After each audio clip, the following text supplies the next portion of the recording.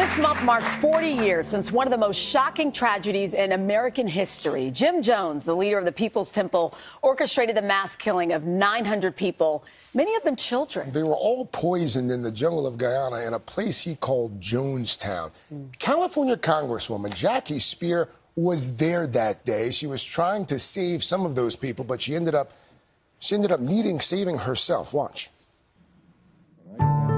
In 1978, Jackie Speier was a 28 year old lawyer and aide working with California Congressman Leo Ryan. At the time, constituents reached out to Ryan about their American family members living in a remote jungle in Guyana. Under the leadership of Jim Jones, the controversial pastor of the People's Temple. In an attempt to investigate, Ryan led a congressional delegation overseas, along with the team from NBC News, in hopes of meeting Jones and his followers. Speier was at his side. One of the tactics out there at People's Temple is to, is to delay. They waited three days before getting permission to tour the compound that housed over 900 people. They were met with smiling faces and later cheering crowds. I think that all of you know that I'm here to find out more about uh, questions have been raised about your operation here. Whatever the comments are, there are some people here who believe that this is the best thing that ever happened to them in their whole life. Speier remembers that moment and feeling unsettled by the response.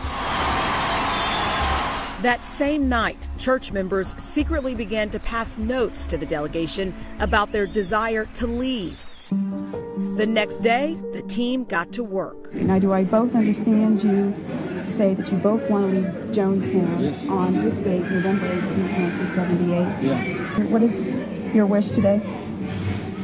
To go back, go back home. And where's home? U.S. When Jim Jones was questioned about losing members, he responded. People play games, friend. They lie, they lie. What can I do about lies? Anybody wants to get out of here can get out of here. Then on November 18th, the unthinkable happened. The delegation, including 15 defectors, were trying to leave the country when they were ambushed. Ryan and four others, including NBC News correspondent Don Harris and photojournalist Bob Brown, were killed. NBC soundman Steve Sung was wounded. Speier was shot five times at point blank range. And back at the compound, Jones led more than 900 of his followers to their deaths after instructing them to drink a cyanide laced beverage. Speier waited nearly 24 hours for medical attention and somehow, after sustaining life threatening injuries, survived it all. Congresswoman Jackie Speier is now sharing her memories about that day and the challenges she's faced since. And a new book entitled Undaunted Surviving Jonestown Summoning Courage and fighting back. And she's here with us to talk about it. There's no question about it. It was such a horrific event to go through. I was watching your face watching that clip. What comes back to mind for you, and what are you feeling emotionally? 40 years, almost to the day. It's, um, it's a heart wrenching look back, and it, um, it, it, was full of um, angst and pain and fear and, you know, coming to the end of one's life. That's where I was, lying on that airstrip, thinking I was going to die there. My whole right side of my body was blown up. I had a bone coming out of my right arm. Mm. Um, and so when, when I survived, I just wanted to make sure that I didn't spend the rest of my life as a victim, that I was a survivor, and that I would move on and dedicate my life to public service. And so that's really what I have done. I've known you for a number of years. Uh, you're a frequent presence on MSNBC. I did not know this was part of your story until a, a few years ago. How much did what happened on that airstrip, how much did that shape you? Do, do you think you would be a, a, congresswoman from California had it not been for that? So uh, I think you become more fearless because once you've looked death in the eye, you're not nearly as afraid. Mm-hmm. Now, I ran for Congress uh, to fill Congressman Ryan's seat, and I lost. Mm-hmm. And the book is about a lot besides Jonestown. It's about being a three time loser mm-hmm. and losing uh, for Congress, losing for lieutenant governor. Um, it's about um, a 14 years later being challenged once again horrifically when my husband was killed in an automobile accident when I was three months pregnant with our second child. So it's a life that's had um, lots of ups and a few lows that have um, allowed me to really um, put that into the book so people can take uh, heartache and turn it into hope. That's what I want this book to be about. When I was preparing for you today, there was something about um, what you mentioned before that grabbed my attention. You talk about the power of trusting your gut. And even in that situation, when I, and I mentioned in the clip when you heard the people applauding, in that moment, did you feel like something was wrong? And then you look back in your life when you've been able to make, you know, get through some of these challenges. What was your gut telling you? Or talk a little bit about that. So there was there was a um, an uh, unusually long um, applause, and it was a little frenetic. Mm. But even before that, I was very concerned about going on that trip. And I was in the process of purchasing a condo in D.C., and I made the contract stipulate that it was going to be null and void if I did not survive the trip. Mm. Wow. So I had huge premonitions. Now people would say, well, why did you go then? Right. And, you know, at the time, it was 1978. There were few women that had senior roles in Congress. I thought, if I didn't go, and there was another staff member going, if I didn't go, then that would set women back. And so that was the rationale. Well, stay with us. I want to talk more about your book coming up ahead. As Jackie mentioned, that horrific day in Guyana, believe it or not, was not the worst day of her life. We're going to talk more about that when we come right back with more of her story.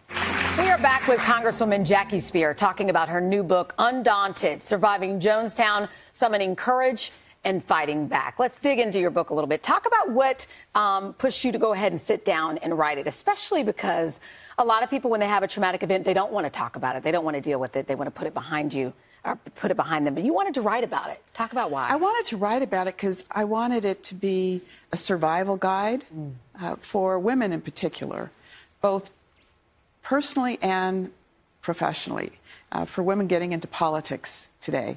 I mean, there's things I would do differently now if um, I had only known. So I wanted it to be. Things like what? Well, you know, I wouldn't wait my turn for, for starters. Um, there's, you just have to put yourself out there. You've got to be willing to um, do it over and over again to get legislation passed. You can't ever give up. Uh, not that I've ever given up, but those are some of the, the lessons that I'm hoping will come out of it. And you can't be, you have to.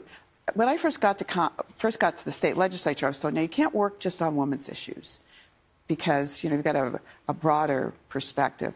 And then one day I thought, well, if I don't work on women's issues, who's going to do it? Hmm. So um, I've spent a lot of my years working on um, the woman's agenda because I think it's very important for our country to, you know, be one that is not 90th in the world in the number of women serving in elective office on a federal level. Whether it's professional with your career or whether it's personal with some of the tragedies that you dealt with, how do you push through? Well, there were times when it was really tough. I mean, I, when my husband died and I was left with, you know, one five and a half year old and pregnant with a second where I was a high risk pregnancy and there was a financial disaster because he was the big breadwinner it was it was very hard. It was hard to get out of bed, and I was telling my father that one day. I said, "Dad, I just don't know if I can bring this baby into the world. I'm, I'm just feeling like I can't really do this."